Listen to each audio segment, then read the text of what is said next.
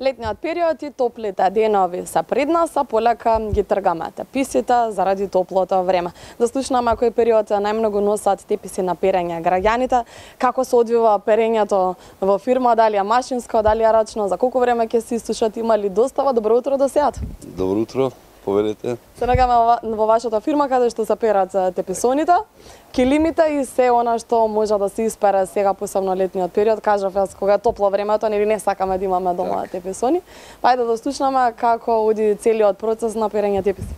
Па според нас процесот на перење теписи е се одвива два пати годишно пролетен период и есенски период, mm -hmm. кој е најдобро за теписите затоа што е, е летен период не сугерираме повеќе, меѓутоа сепак луѓе се одлучуваат сами.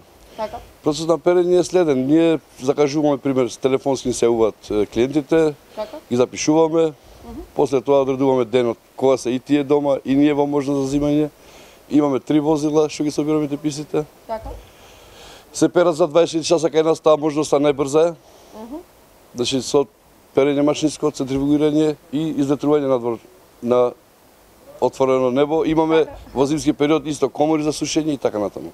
Па, значи зимски период може да, да се носат да, да, без да. разлика дали временските услови дозволуваат или не. Кога врна, ги ставате внатре. Да. Кога убаво како денес времето што ни се погоди, надвор се сушат писите, може да видите и гледачите бидејќи ова интервју го правиме некаде околу пред Великден, две недели пред Великден, а вие позади камерите ми кажавте луѓето сакаат се 5 до 12 да направат, да, да. ги носат сега те писите за Великден да им бидат нели спремни да бидат чисто. Добро ли е тоа или сепак треба по со време да се испарат па писите да не бидат 5 до 12? Кога ќе рачунаме сега и така и пролетен период и Великден меѓутоа малку луѓе така се балкански менталитет тоа некој си и сите сакат од одеднашка, меѓутоа толку е можност да се не се постигнува секогаш све, меѓутоа сепак сме задоволни и благодарни клиентите.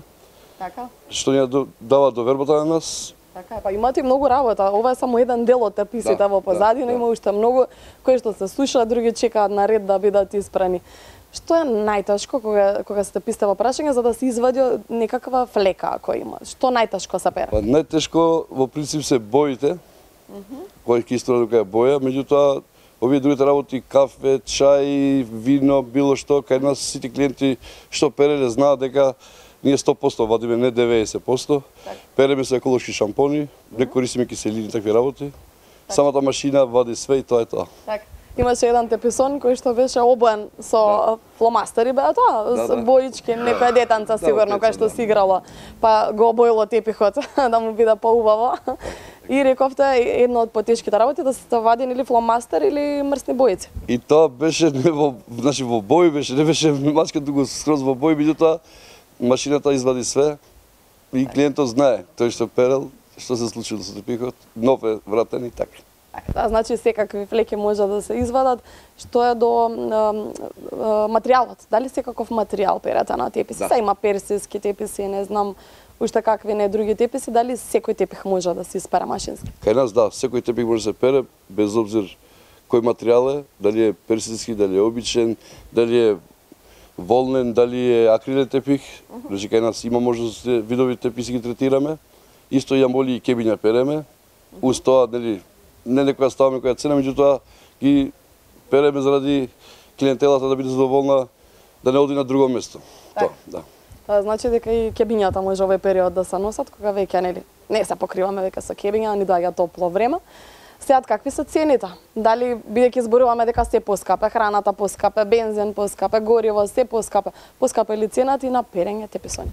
Да ви кажам искрено, ние се држиме со стари цени, само на една еден вид теписи е смената цената 10 денари, uh -huh И тоа да ви кажам дека малку ни е тешко, меѓутоа се трудиме да бидеме нормални со цените, меѓутоа не се издржува искрено ви кажам, затоа што кај нас е се поскапено и струјата поскапено и најлоно што ставаме и на пример дизел што користиме нели uh -huh. и платите се покачени на вработените, а ние стоиме со цените исти уште од пред две години.